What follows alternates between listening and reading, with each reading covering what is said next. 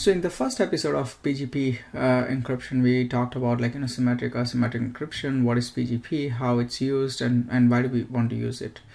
Uh, so just to quick recap, uh, I think mostly we want to use when we want to share some confidential information or uh, let's say you're using the service which does not provide encryption um, by default or maybe you want to have extra layer of security. So even like you know are using gmail to send some email uh, with some credentials or something or some secret messages you want to encrypt on top of google's encryption right? So uh, those are the various reason um, and and pretty much like you know i just use encryption on day-to-day basis. Like if i have to share something uh, secretly with my client or customer that's also uh, one of the uh, because most of the stuff that we do like pen test and, and stuff like that uh, usually have uh, pretty confidential information. So you want to encrypt those with this particular technology uh, now today what I want to teach you is how to generate the PGP encryption keys. Once you generate those keys then like you know that's also a very essential to learn because uh, there are various options you have to choose when you generate the keys. Also there is there is some precautions you have to take to be anonymous while generating the keys and stuff like that. So we'll go over some of those steps today and then in the next sessions i'll also show you like you know how to use this and etc enjoying this content so far please hit the like button uh, and like you know uh, leave the feedback at the end of the video i really appreciate it and that gives me feedback on what kind of video i need to make so uh, let's start with the first method on how do we generate the PGP encryption key. So this is the tool uh, pgptool.org and uh, this is the like you know just an online version of it so you can use it to generate any keys. Uh, I'll quickly show you how to use it and, and what to do. So name I would usually prefer like you know to keep something very fake because you want to be anonymous. So you have generated a fake identity as discussed in our, one of the previous sessions. So you're going to use that uh, while while choosing the name. And also for the email uh, as well you want to choose something like you know uh, random. Of course i'm just using something random but you do want to uh, like you know generate an email box and something so you can receive the emails now your question is why do we need email address while generating the keys so your email address will be included as public information in your public PGP key. As we talked, it's an asymmetric encryption, so you have public and private key. So your public key can be easily imported by a third-party PGP software. If you do not supply your email address, your PGP decryption software may be unable to link your email address to your public PGP key and therefore unable to automatically encrypt decrypt email messages. As a result, you will have to manually decrypt the message each time you receive PGP encrypted message. So that's that's the reason um, you want to have like you know this email address. Comments if you want to put anything uh, we can usually skip it or you can say like you know test key. Um, algorithm uh, you want to use RSA that's the at least the secure one at this point of time uh, when we are recording this session. Uh, key size I would usually go with 4096 now here is also like you know some things to talk about. Uh, the lower the keys goes uh, it's like you know it's faster because of course it has to do less computation. The uh, higher the number you go it's slower but depending on the confidentiality you want to use the encryption key size. Uh, 8192 as it said like it's super secure but super slow. So that's why we we are going to settle in the middle 4096 then the question is how often you want the like uh, when do you want this key to be expired? Uh, usually I choose never because I want to keep these keys for a long time. And passphrase is the one that uh, it's going to be used uh, like you know when you're using the secret key.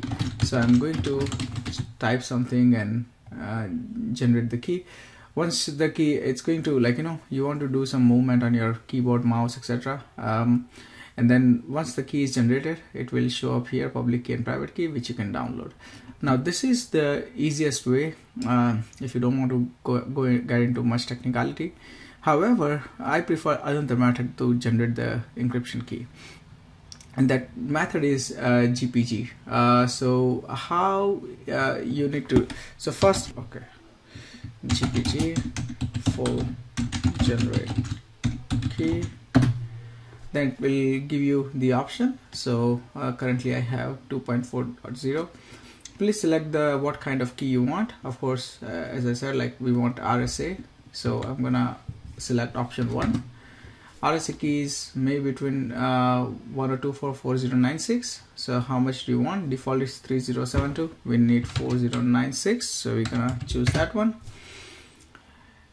then we are going to uh, ask like please specify how long the key should be valid. As I said like key I don't want key to be expired so I'm just gonna put the zero. Uh, are you uh, just asking for another confirmation that key does not expire at all? Is this correct? Yes.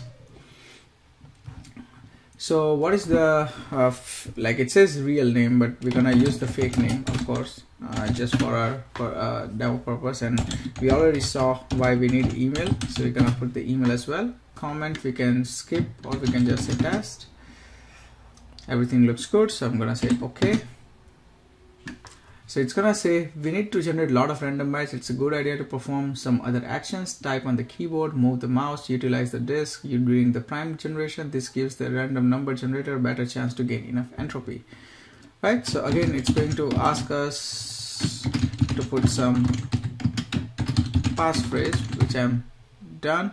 And let's just like you know keep moving our mouse and and do some typing on the other screen or something and uh, more more random bytes it generates it's better our entropy will be higher and and usually you could uh, you can test it with the burp sequencer uh, tool if i'm not mistaken. And and that will be uh, like you know a perfect way to check the entropy as well. And you can regenerate. So now the key is generated. What you want to do is you want to copy this sid or id of the key. And then you want to type gpg and then you want to export the key. Um, then type the key id and say public key test dot key the key is exported. Now let's also do the private key or secret key I would say.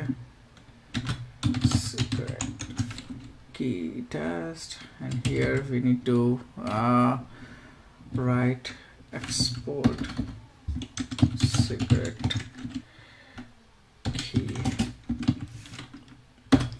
now this one should ask the password the one that we have selected. We have selected like you know while generating the key. If it goes right it's going to be able to generate the key.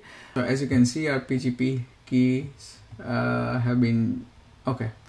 So as you can see our PGP key has been generated. Now the secret key uh, is very secretive so you want to make sure uh, you keep it in the secure location because anyone with the secret key will be able to decrypt any message which was sent to you so make sure you use it uh, uh like you know you keep it very secure so just to recap, uh, while you generate the PGP key, use RSA. This is also a good interview question. Uh, you use fake identity because you, if you want to be anonymous, because all the all the messages like if i want to send you something uh, and i use your public key then i'll be able to see your email. So you want to use the fake identity if you want to be anonymous there. 4096 is a good bytes uh, to to stay secure as well as not super slow encryption. And always make sure the key is stored securely so if you follow all of this i think uh, you'll have good uh, encryption keys and you can use it for forever. I'll, I'll show you in the next videos how to use this and like you know uh, what are the different ways we can encrypt and decrypt the messages with this. Uh, but until then if you have any questions feel free to drop it down in the comment section. Um, I don't mind that at all uh, also I'll try my best to uh, get back to you. Uh, also just make sure you remember all of this because a lot of times I uh, like you know people ask this kind of question in the interview as well. Hope you like it. Uh, please subscribe if you haven't already. I'll see you guys next Monday. Bye